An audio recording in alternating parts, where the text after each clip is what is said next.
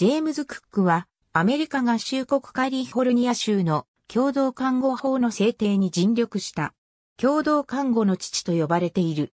インディアナ州に生まれ、1949年に UCLA を卒業し、アメリカ合衆国情報局に10年間在籍した。ランド研究所で働いたことがある。また、商業資産の所有者たちのためのロビーストであった。後年は、 Global Children's Organization のメンバーとして活動した。2009年2月21日、カリフォルニア州のロサンゼルスにて85歳で死亡した。1974年に妻から離婚を言い渡された。一人息子を元妻と共同で育てようとするが、当時の法制度では不可能であった。友人たちと共同看護協会ジョイントカスタディアソシエーションを設立し、カリフォルニア州政府に働きかけを行った。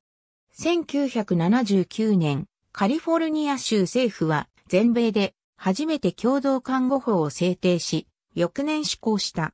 その後この法律は全米50州で施行されている。現在、50州のうち37州とワシントン DC においては、共同看護は例外的な適用ではなく、原則的な適用になっている。ジェームズ・クックの一人息子は、現在カリフォルニア州で弁護士をしており、同じ弁護士の妻との間に3人の子供がある。